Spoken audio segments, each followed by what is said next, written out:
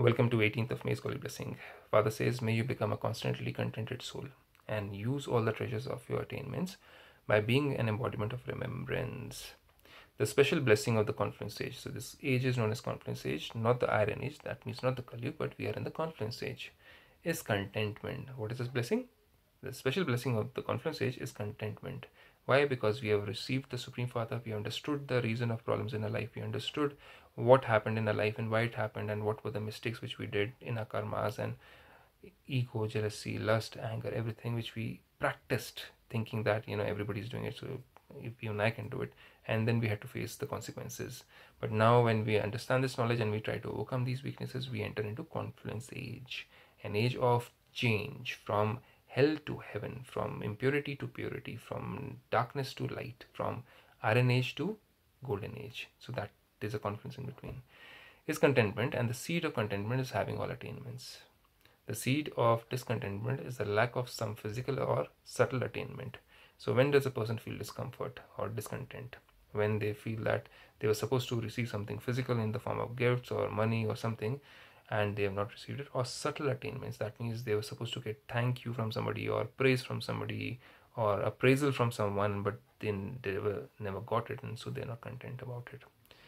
So god says don't make or don't implant that seed of seeking physical or subtle contentments or attainments. It is remembered of brahmins that nothing is lacking in the treasure store of brahmins. Why? Because they're attaining everything from the supreme creator they're not brahmins don't ask anything from the world or the worldly beings. So he they always seek everything from the supreme being that is the divine being not the worldly beings. All of you children receive the same infinite treasures from the one. We all receive the same thing. Knowledge is the same and remembrance is the same.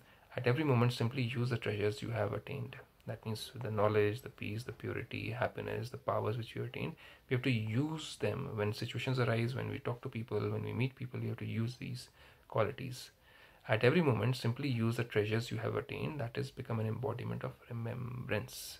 So when we use treasures we'll remember the person who's given that treasure to us right? And that becomes an easy raj yoga. That means we're able to remember that person and that being and that is god in this case do not change your unlimited attainments into limited ones, and you will then remain constantly content. So that means we receive peace and happiness and joy and love and uh, wisdom from God, and then we turn it into limited attainments. That means when we use that wisdom, when we use that joy, when we use that content, when we give it to others, and then we expect them to also return the same thing or uh, the ideas which we receive from god we use them and then we want them people to say wow such a nice idea. Oh wow such a nice work you did. And then we use those methods to attain subtle or any form of physical attainments then we can remain not remain constantly content.